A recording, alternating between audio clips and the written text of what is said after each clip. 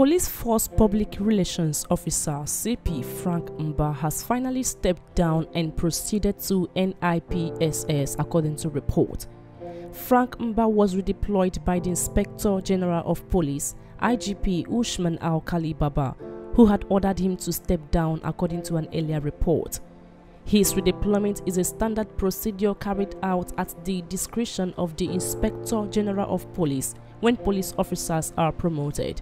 Despite the fact that Mba first resisted pressure and purportedly disregarded the IGP's direct order, he has ultimately bowed to pressure and resumed duty today at the National Institute of Policy and Strategic Studies NIPSS in Kuru, Plateau State, where he is expected to serve for one year. While the force is yet to issue public statement on the matter, Muyiwa Adejobi, who deputized Mba as Force PRO, is now acting in his place.